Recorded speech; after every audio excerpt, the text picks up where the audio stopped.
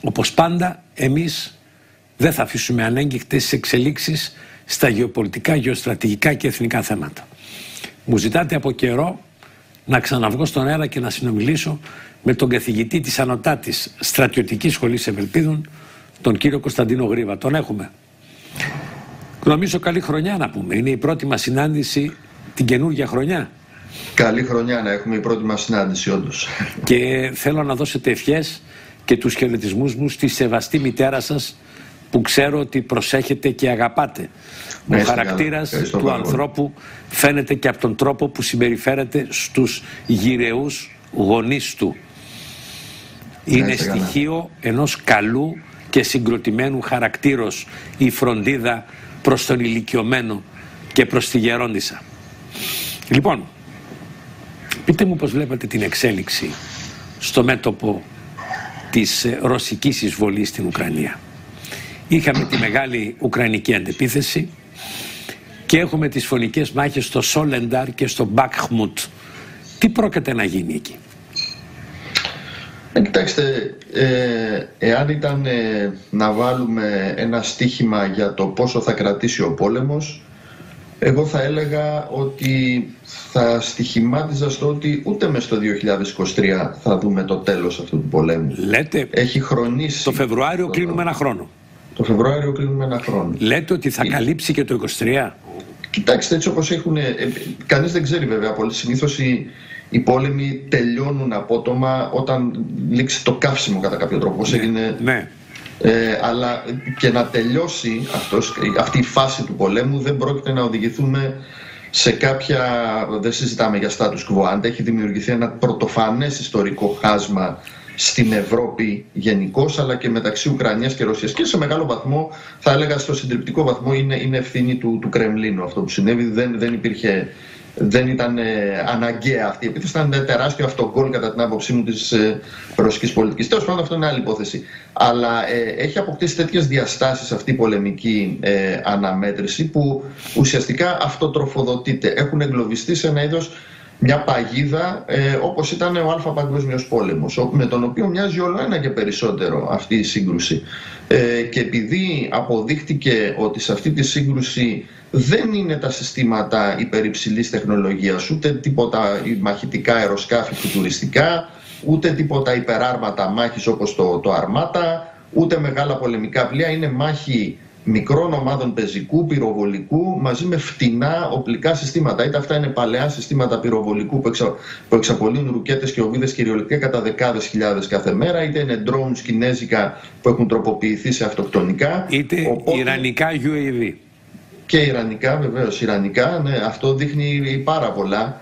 Ε, καταρχάς είναι ένα τεράστιο πολεμικό εργαστήριο η Ουκρανία ε, και θα πρέπει να μελετηθεί. Ήδη μελετάτε στι Ηνωμένες Πολιτείες, ας πούμε, σε μεγάλο βαθμό, εάν δει κανείς την αμυντική ειδησιογραφία του περασμένου έτους, θα δει ότι σε μεγάλο βαθμό οι Αμερικανικές ένοπλες δυνάμεις ε, αναπτύσσουν προγράμματα και μεθοδολογίες ώστε να προσαρμοστούν στα δεδομένα τα ευρύτερα πολεμικά δεδομένα που έχει δημιουργήσει ο πόλεμος ε, στην Ουκρανία. Εδώ στην Ελλάδα βέβαια κατά τη συνήθειά μας είμαστε 10 βήματα πίσω. Ακόμη δεν έχουμε κάνει καμιά προσπάθεια σοβαρής ανάγνωσης των, ε, των διδαγμάτων, επί του πεδίου των διδαγμάτων εννοώ.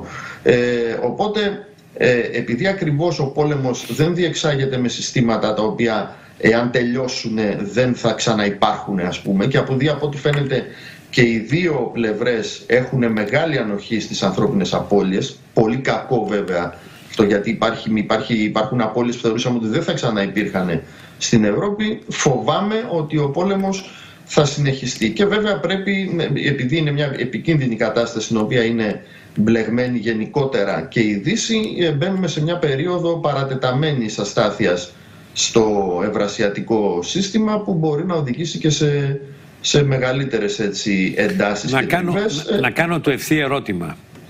Γιατί η Ρωσία του Πούτιν δεν χρησιμοποιεί τη συντριπτική υπεροπλία που έχει σε επίπεδο αεροπορικών δυνάμεων;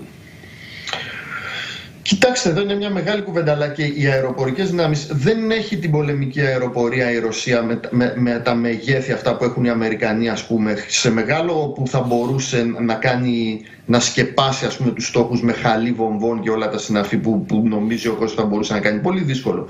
Και η Ουκρανία από πλευράς έχει αναπτύξει και μεθοδολογίες τέτοιες, αλλά και, και άμυνες που δύσκολα θα μπορέσουν να, να τις κάνουν κάτι ε, αεροπορικές επιθέσεις τέτοιας κλίμακας. Δηλαδή, όταν οι Ουκρανοί έχουν φτάσει σε, σε από, απότατο επίπεδο της, της αποκεντρωτικής λειτουργίας των δυνάμεών τους, βλέπουμε ας πούμε μυριάδες από μικρές ομάδες αποτελούν από τρία ή τέσσερα άτομα διεισδύουν στις ρωσικές γραμμές και με, με δικά τους drones και μετά περνάνε και δεδομένα στοχοποίηση στον πυροβολικό, είναι κατά κάποιο τρόπο ε, ένα είδος, ε, τι να πω τώρα, είναι, είναι ε, σαν να προσπαθήσεις ας πούμε ένας σμάρι εντόμων να τα χτυπήσεις με, με ένα πολυβόλο. Δεν γίνεται. Είναι, υπάρχει, υπάρχει ασυμμετρία.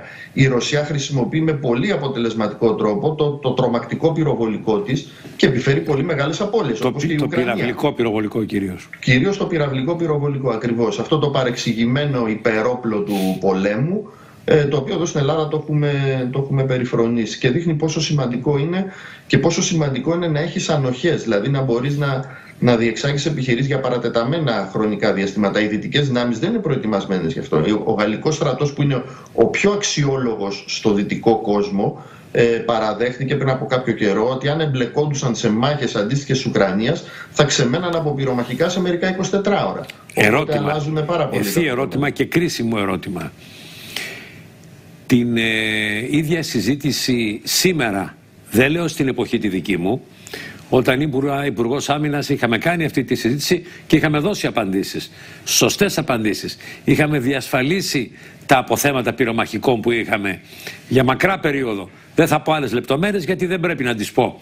Σήμερα αυτή η συζήτηση έχει γίνει. Κοιτάξτε, στο ελληνικό στράτευμα. Δεν έχω κάποια ιδιαίτερη γνώση. Ευτυχώς όμως ε, υπάρχουν ε, ε, από παλιά υπάρχουν σοβαρά, σοβαρά αποθέματα. Έχουμε αλλά... αποθέματα. Ακριβώς έχουμε. Αλλά πρέπει, μιλάμε για, για μεγάλα αποθέματα, αλλά πρέπει να αλλάξει γενικότερα η νοοτροπία. Δηλαδή, ε, βλέπουμε ας πούμε ότι και οι Ουκρανικές δυνάμεις αλλά και οι Ρωσικές, αυτό που είπα πριν, ότι χρησιμοποιούν, παίρνουν άπειρα, χιλιάδες κυριολεκτικά μικρά drones του εμπορίου και τα μετατρέπουν σε αυτοκτονικά, σε, σε βλήματα ουσιαστικά. Λοιπόν, δεν, δεν παραγγέλνουν ε, διαστημικά αεροσκάφη ή τέτοιο που θα τα πάρουν το 2050 και θα τα πάρουν 10 από δάφτα και άμα τα χάσουν δεν θα μπορούν να τα χρησιμοποιήσουν. Ακριβώς Πρέπει να ξαναθυμηθούμε τις αρχές του πολέμου. Ακριβώς. ακριβώς. Δίνει πολλά διδάγματα Ακριβώς. η ρωσο-ουκρανική σύγκρουση και θα επανέλθουμε κύριε καθηγητά. Ακριβώς. Ευχαριστώ πάρα πολύ. Εγώ ευχαριστώ. ευχαριστώ. Να είστε καλά. Αν σας άρεσε το βίντεο πατήστε like και εγγραφή στο κανάλι. Για να λαμβάνετε πρώτη τις ειδοποιήσεις για νέα βίντεο πατήστε και το καμπανάκι. Σας ευχαριστούμε θερμός για την υποστήριξη.